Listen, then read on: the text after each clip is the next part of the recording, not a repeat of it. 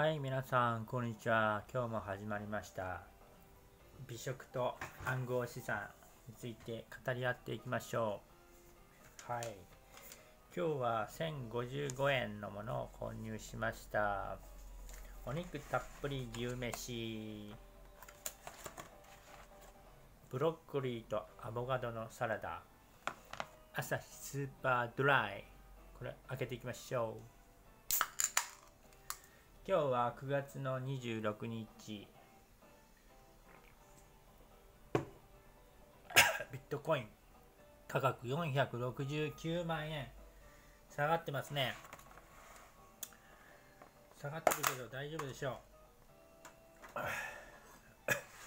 もうちょっと耐えればね上昇すると思うんでね。400万円前後が狙い目らしいんでね。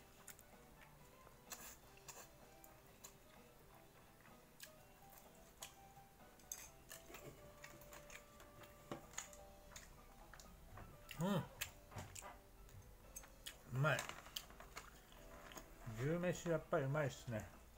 うん。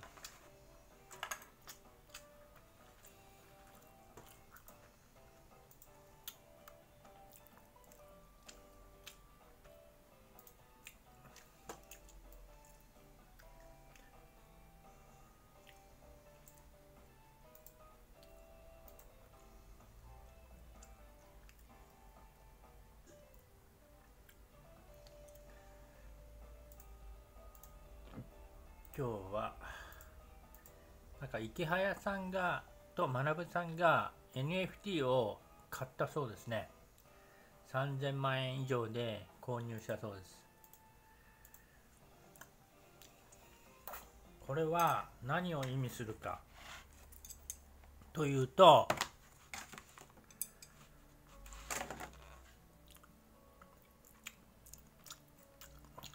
まあ今後の仮想現実世界を見据えて購入してるんでしょうね。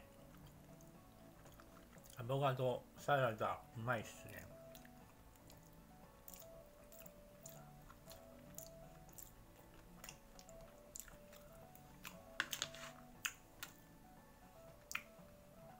あ今後の仮想現実世界の通貨といえばビットコインになってくれるんでね。まあ、ビットコイン以外の資産も含めてね。あとノン NFT もねメタバース空間では必要になってくるんでね。今のうち買っとくのがおすすめだと思いますね。しかし NFT もね価値あるものと価値がないものとは極端に分かれてるんで。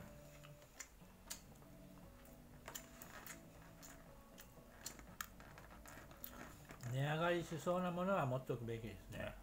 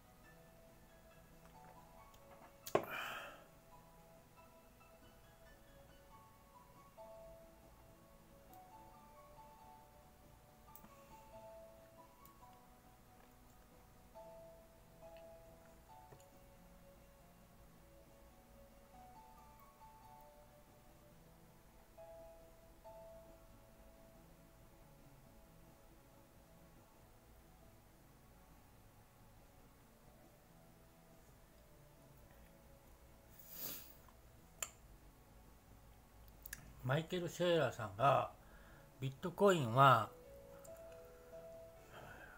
証券ではなくアルトの多くは有価証証券だと言ってますね。これはどういうことを意味するんでしょうね。要はビットコインにしか価値はないっていうことなんでしょうかね。長期的に見ると。短期的に値上がるものは確かにあると思いますよね。たくさん。長期的にはどうでしょう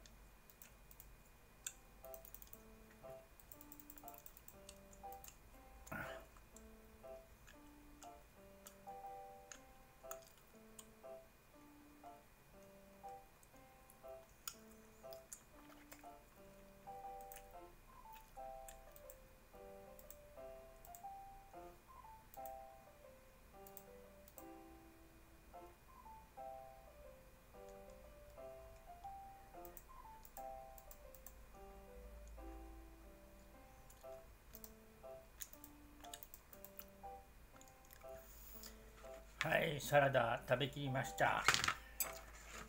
はい牛飯食べきりました。